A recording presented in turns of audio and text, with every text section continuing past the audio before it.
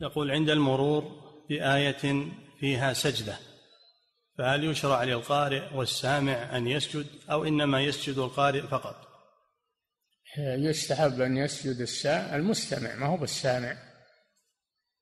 الاستحباب للقارئ وللمستمع اللي قصد الاستماع. أما اللي مرت الآية أو سمعها ويمشي ولا ما قصد الاستماع هذا لا. ما يستحب له السجود. نعم. ولهذا قالوا استحبوا للقارئ والمستمع دون السامع. نعم.